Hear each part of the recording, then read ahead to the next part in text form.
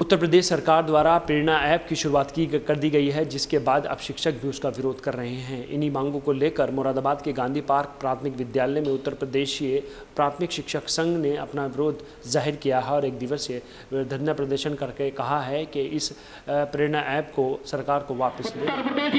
शिक्षक संघ! उत्तर प्रदेश एकता शिक्षक एकता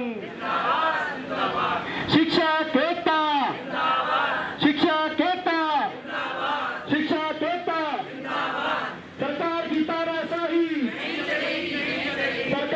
सरकार की तानाशाही बुद्ध प्रेरणा ऐप नहीं उत्तर प्रदेश सरकार ने प्राथमिक विद्यालयों पर नज़र बनाने के लिए एक प्रेरणा ऐप की शुरुआत की है। इस प्रेरणा ऐप के माध्यम से शिक्षक स्कूल की गतिविधियों को उस ऐप में डाउनलोड करेंगे, जिससे शासन और प्रशासन उस ऐप के माध्यम से प्राथमिक विद्यालयों पर नज़र बना सके। अभी इस ऐप की शुरुआत ठीक ढंग से हुई भी नहीं है, मगर इसका विरोध शुरू हो चुका है। मुरादाबाद के सिविल लाइन स्थित गांधी पार्क के प्राथमिक विद्यालय में उत्तर प्रदेशीय प्राथमिक शिक्षक संघ ने जोरदार नारेबाजी की और प्रदर्शन किया। साथ ही सभी पदाधिकारियों का ये कहना है कि उत्तर प्रदेश सरकार विद्यालयों की सुविधाओं पर तो ध्यान नहीं दे रही है और ऐसे में आए दिन शिक्षकों का उत्पीड़न किया जा रहा है। सरकार ने प्रेरणा ऐप की शुरुआत की है, जिससे शिक्षकों के सामने काफ़ी समस्या आ रही है। ऐसे में हम इस प्रेरणा ऐप का विरोध कर रहे हैं और हमारी सरकार से ये मांग है, इस प्रेरणा ऐप को सरकार वापस ले। का आपका ये क्या प्राथमिक शिक्षक संघ महानगर, मुरादाबाद का। धंधा है ये हमारा।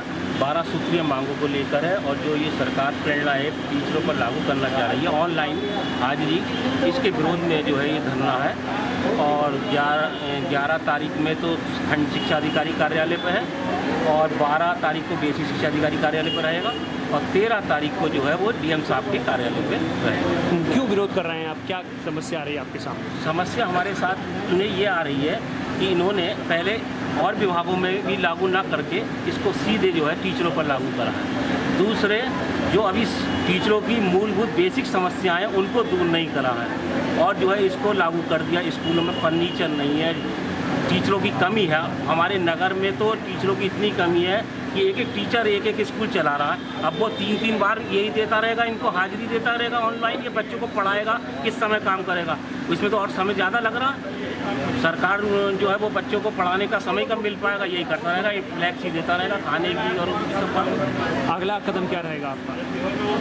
हमारा अगला कदम यही है कि सरकार इसको वापस ले जो उन्होंने ये प्रेरणा ऐप लागू करना चाहते हैं और जो हमारी बारह सूत्रीय मांगे हैं पहले उन्हें लागू करें और विभागों पर भी इसको लागू करें।